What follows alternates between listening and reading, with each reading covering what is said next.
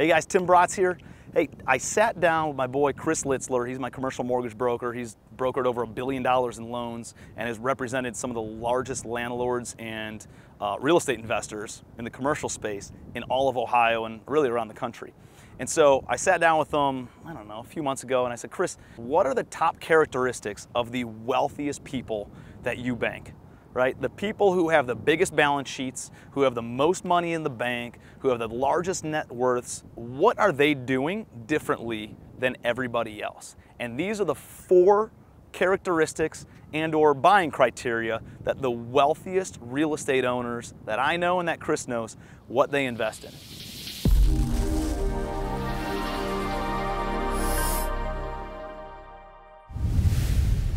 So the first buying criteria is that they buy well located real estate.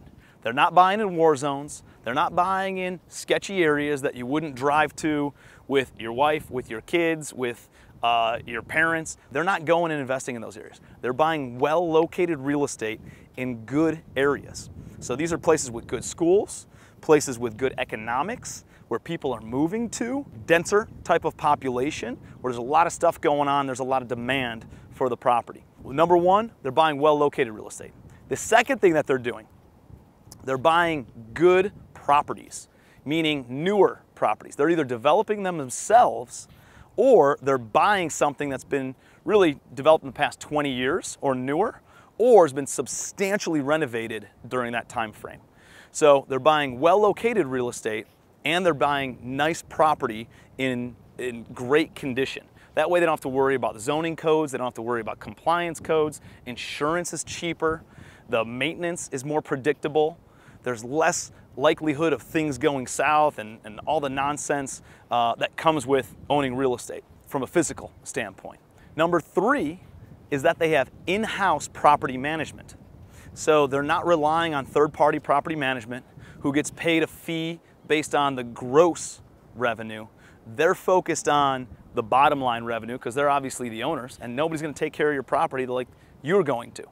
And so they hire staff and they in-house manage to ensure things get done the right way and make sure that they're taking a look at their bottom line and not just the top line. So now the owner and their team are in the same boat, rowing in the same direction. It's more easy to incentivize your team that way and pay them based on profit share rather than just on gross income. If you think about a third party management company, how much are they affected if you drop from 90% occupancy down to 80% occupancy? To them, they don't really care, right? It's not a huge adverse uh, structure for them because they're still getting paid 3 to 8% management fee on the gross income of the property.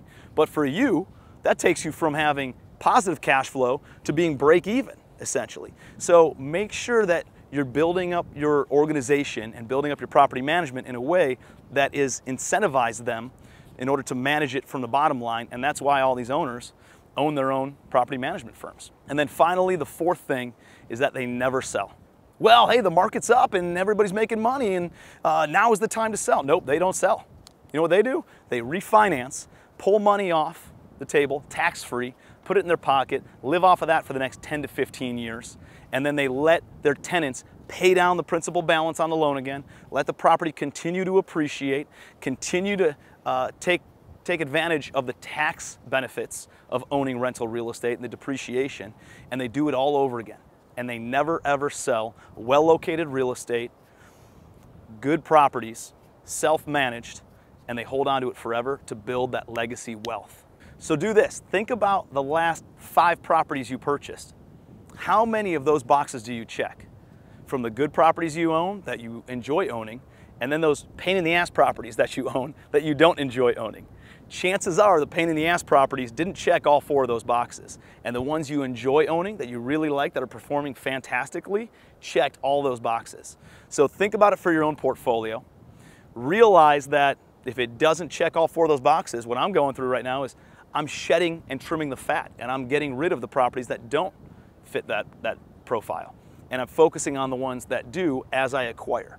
Now I will say this with one caveat is when you're growing your real estate portfolio and you're trying to get up to that, that place where you can sponsor your own loans and qualify for financing and uh, get some, some real respect when you're making offers on properties from the brokers and from the sellers, that, that number's probably in around $10 million of real estate in your portfolio.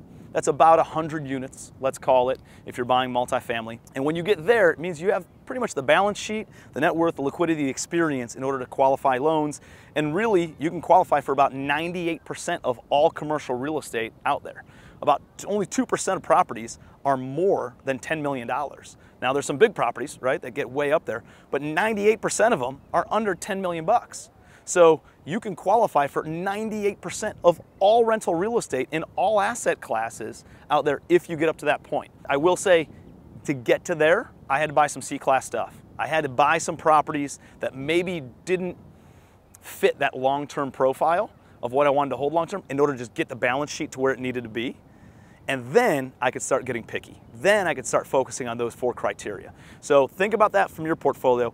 If you are in a position where your portfolio is not at least 10 million bucks, just acquire anything that's good, solid, well located, as best located as you possibly can, decent properties to get the balance sheet there, and then you can use that to buy the nicer stuff and then you can sell off the small properties or the C-class properties, the D-class properties, the management intensive properties. That's the process that I would go through if I was starting all over again in order to get my balance sheet to where it wanted to be and where I wanted my portfolio to be. So give me your biggest takeaway in the comments below. I'd love to hear um, what you like, maybe what you don't like, what you agree with, what you don't agree with in the comments below. And if you know anybody else who's looking to grow their portfolio, share this with them so that way they can build it the right way and lay the right foundation.